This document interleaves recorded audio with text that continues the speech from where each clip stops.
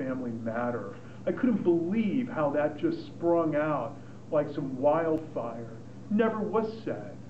And the fact that that became sort of a, uh, really the kind of uh, narrative that escorted us along the way was just so shocking to me because for all my years as a supervisor and before then, I wasn't just an ally of the DV community, I was an outspoken advocate.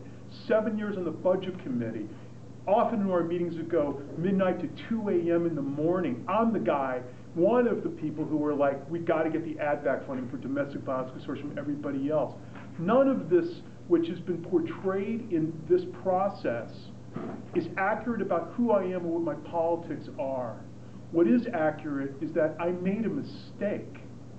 My wife knows I made a mistake. She was the first one out to say, we want our family together. My husband, in an opinion piece that she wrote about in the Chronicle that they published on April 6, who I haven't talked to, by the way, or seen since January 13th. I haven't talked to my wife or seen her for four months. I read that piece when everybody else got to read that piece. My immediate impression of that piece was, it's a love letter. I am so I so terribly miss my family.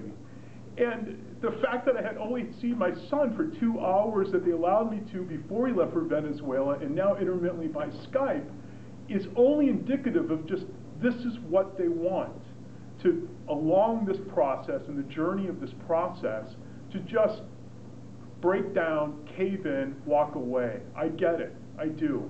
But at this point, now that it's morphed from the legal the Hall of Justice into City Hall, this is where it does become political.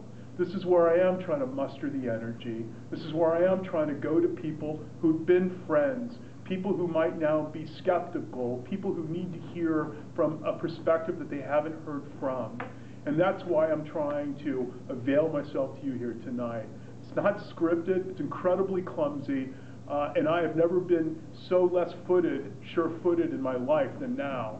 But it's important you at least get that, I think, that piece of information. And I'm more than happy to answer any questions. So thank you for your time, and I know your night's been long.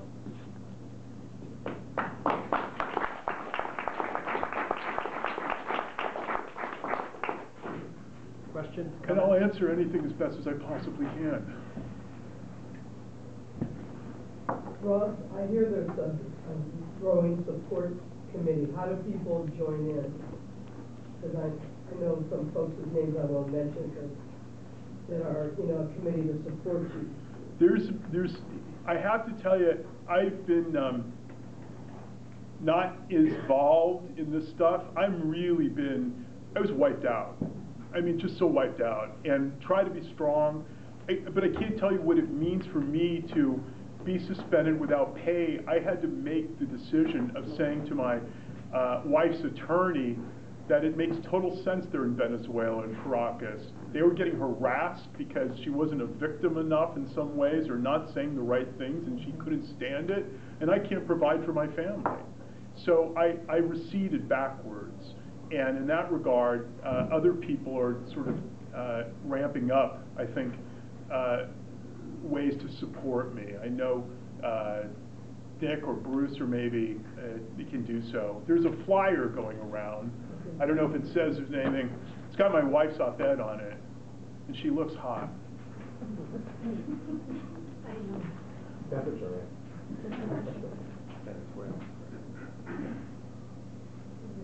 Can I answer any other questions? There's been so much reported in the press. I'm, yes. Explain that your wife's going to the next door neighbor, the videotape and all that. Sure. This happened, I guess, the next day. It did, in the next morning, and sorry if I'm bouncing around, I'm still trying to get it down myself, um, in telling it. Um, our neighbors, uh, my wife felt the need uh, to uh, go to the neighbor who she thought was an attorney.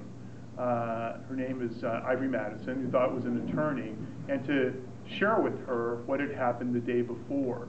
Uh, I had learned uh, some days later that this had happened uh, and that a video was made because of an argument that our wife had had about her impending trip to Venezuela and our disagreement about taking our son. Uh, I did not know about any video uh, until on January 4th. So four days later, my wife calls me up.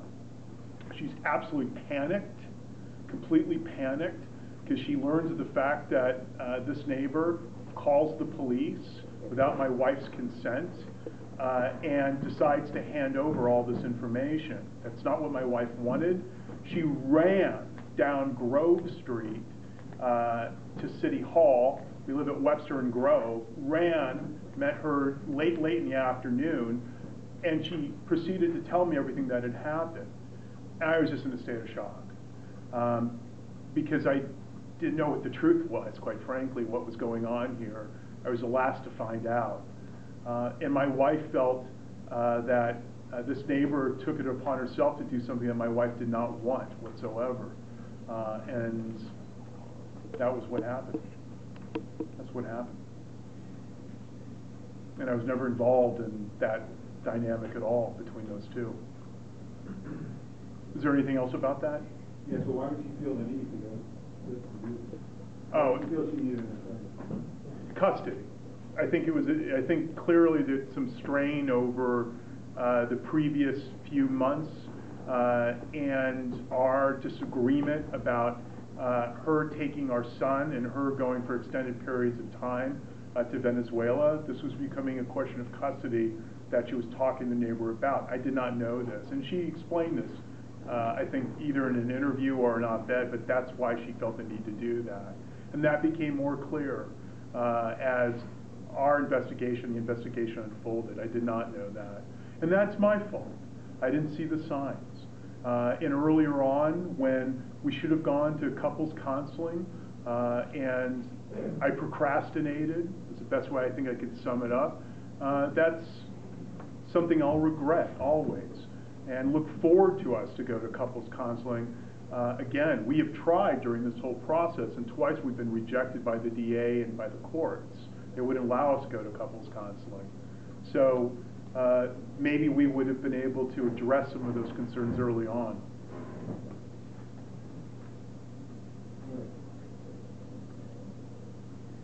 In terms of the reinstatement, like what's the process? Is it before the ethics commission right now?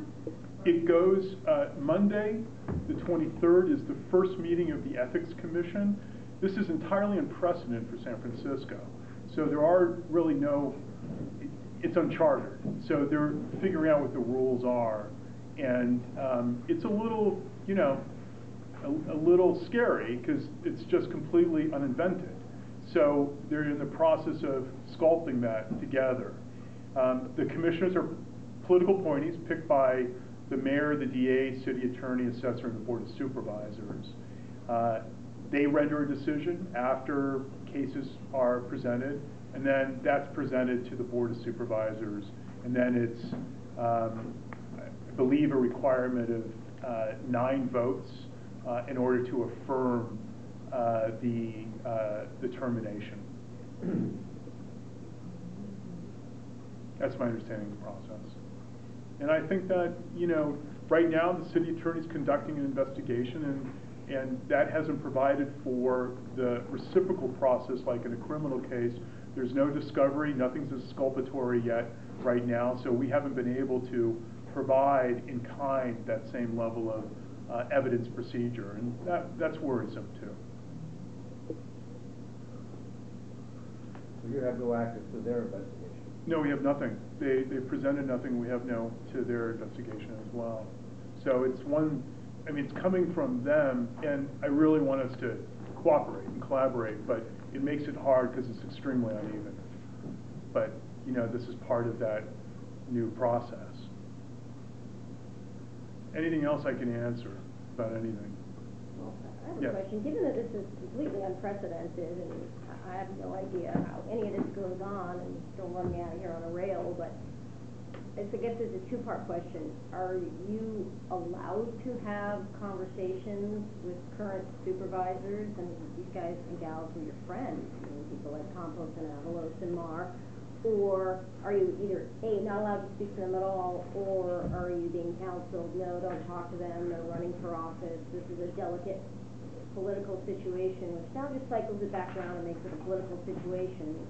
What do you, what, you're a pretty upfront guy, Ross, are you talking to these people? No, and I'm not, just like I'm not talking to my wife.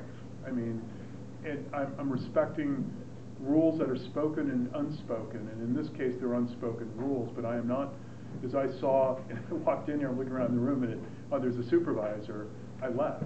Um, and I didn't want there to be a chance, uh, encounter, quite frankly, not because of me, but because of them. I want to respect their position you know, as, as progressive as I am, I do believe in our system, and I try to believe in it. It is as unchartered and as sort of unproven as it is. Kinda screwing you a little. Well- If I can, uh, Can I- am I allowed to speak to that that, I. I think, uh. Say that out loud? Sorry, yeah. I, I think David meant this, uh, to, to be repeated, I hope I'm not making a mistake, but he, he left for that reason. He's been advised that he should not be hearing. That's fine. You discuss it. But other people can if they want to, certainly with them, and I think the supervisors, I expect that they'll probably be just, um, kind of demure about it, take information in, and, and, and that's how it will probably go. Um, but, you know, to see your life be judged in this particular way for an incident that hasn't been well told and the narrative not accurately, I think, displayed, uh, it's hard to sit back. So I wanted, this is my first night, I'm doing this. I haven't talked to anybody. So I have to, and I chose you all. So, I mean, on this night, I chose you all in Milk Club because I feel such uh, incredible, I mean, the simpatico I've always felt with this club. Um, and I don't mind being